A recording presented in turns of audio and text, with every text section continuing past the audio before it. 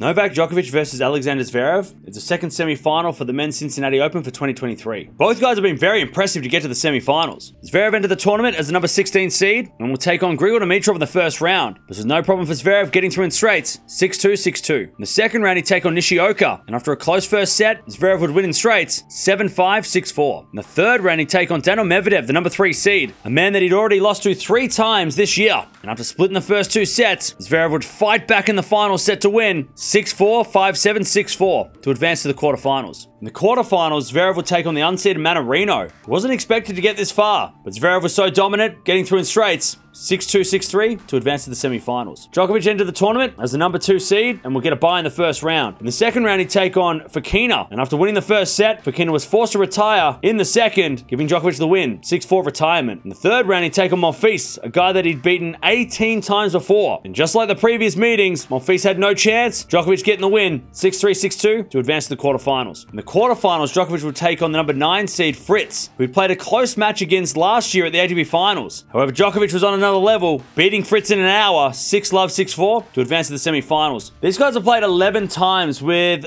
Djokovic leading the head-to-head 7-4 but Zverev has won two of their last three matches, including a match two years ago at the ATP Finals. If Zverev's going to win this match, he needs to serve well and be aggressive. Fritz was so passive against Djokovic despite having a big serve, so Zverev's going to have to do a little bit more than that and play more like he did when he played against Medvedev. Come to the net and mix it up against Djokovic. If Djokovic's going to win this one, he needs to just keep doing what he's doing. He's beaten Zverev a few times before. Also, Zverev is still on the comeback. I know it's been almost eight months since he played his first match in his comeback, but he still is on the comeback and trying to get to these big finals. So Djokovic should use that and maybe there is some nerves from Zverev that he can take advantage of in the first sets. These guys have a really cool little rivalry going on. 11 times they've played, but they haven't played in two years. So I've got to go with Djokovic in this one. I think Djokovic will win this one, maybe in three sets. A close one, but I think Djokovic just a little bit extra experience at the moment. Zverev is still, like I said, coming back to this stage of tournaments and rising up the rankings. But let me know in the comments below. Who's going to make the final?